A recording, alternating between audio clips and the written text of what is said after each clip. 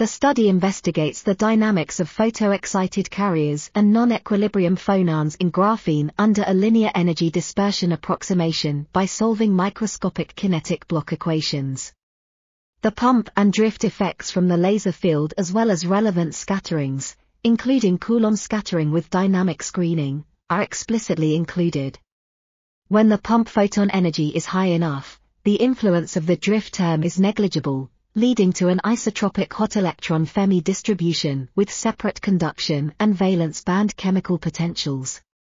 However, when the pump photon energy is low, the drift term is important and leads to a net momentum transfer from the electric field to electrons, resulting in a drifted Fermi distribution different from the one established under static electric fields.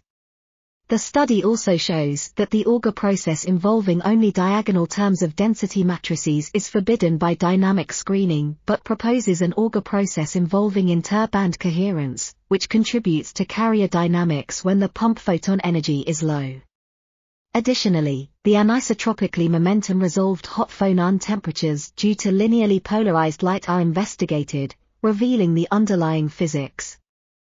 This article was authored by B. Y. Sun and M. W. Wu. We are RTCL.TV, links in the description below.